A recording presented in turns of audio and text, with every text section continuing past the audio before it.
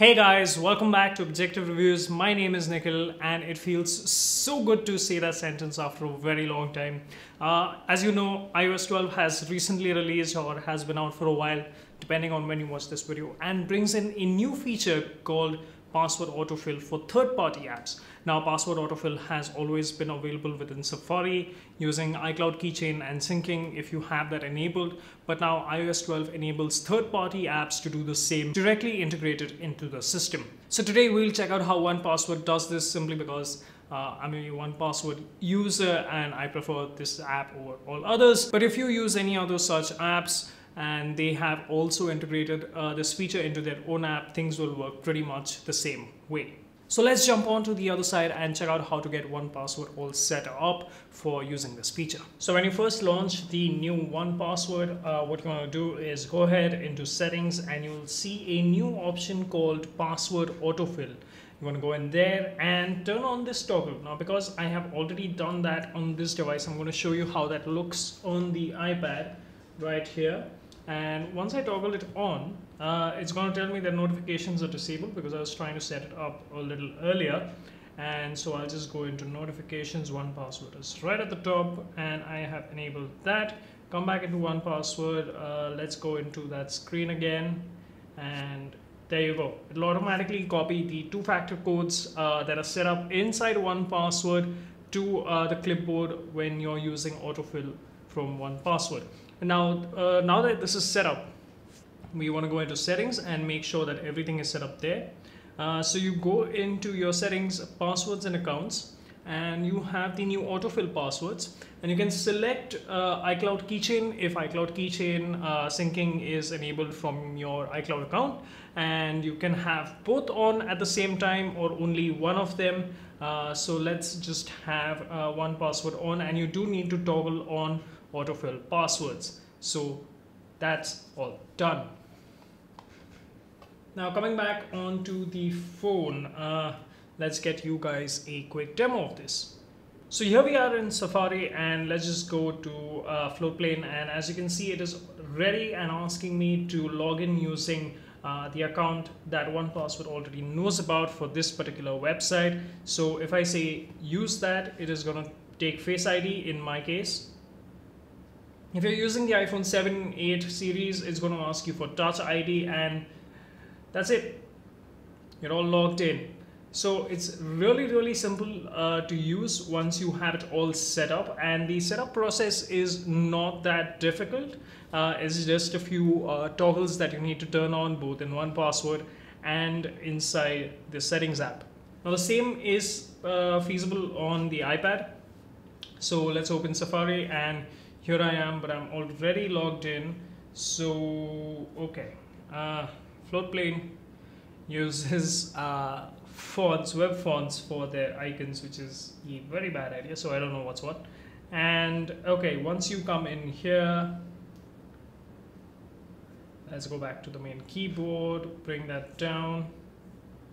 Okay so on the iPad it will come right above the keyboard and it won't show you the uh, toggle itself. I'm guessing this is reserved for uh, the new iPad Pros that are likely coming up later this year uh, with Face ID and if that's the case uh, it'll show you the same kind of a pop-up. Uh, let's uh, tap that, it's going to ask me for Touch ID, there we go and sign in.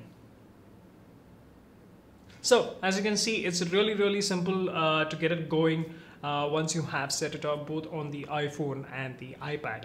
Another interesting thing that autofill now does is uh, say you have a bunch of accounts for Google that like I do and you have one of those as a favorite. So now that account is the one that is shown to you first for autofilling passwords with. Now this account also has uh, two-factor authentication enabled on it. So let's see how that works. And one, uh, the one-time password has been copied to the clipboard. There we go. Uh, it's going to ask for password again because that's how uh, Google and Apple rule. Even Apple does this.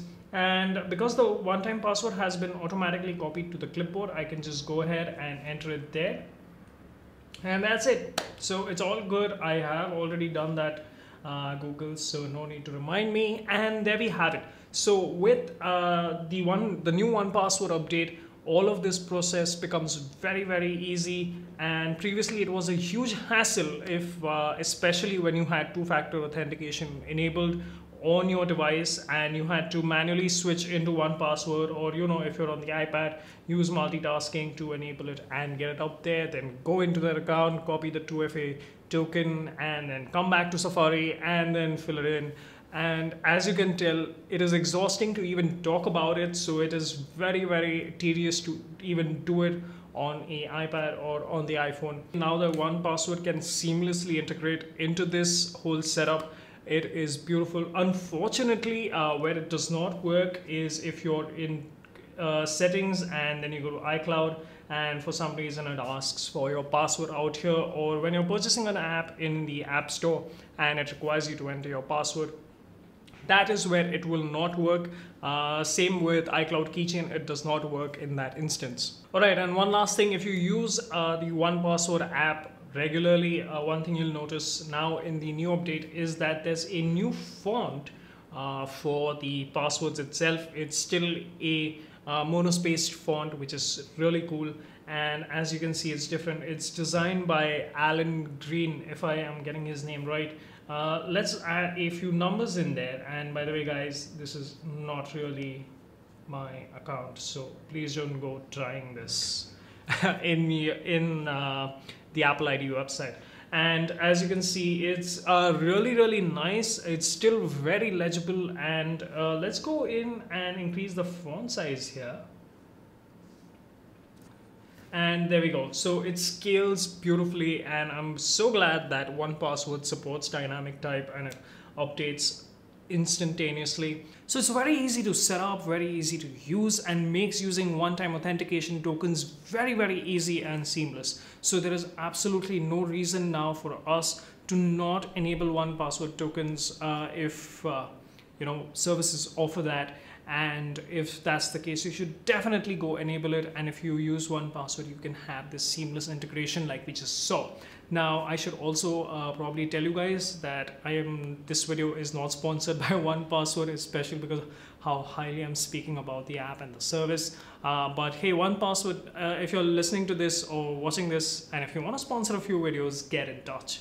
Uh, so with that out of the way uh, if you want to know more about the app uh, or what the service is or what a password manager does, I'll leave links to their apps and their website in the description. You can go check it out. So while you're down there, uh, if you like this video, hit the like button. If you disliked it, let me know down in the comments what you disliked about the video. If you're new around here, don't forget to subscribe. I'll be releasing more videos about the iOS 12 update and how various apps are using the new features that it brings.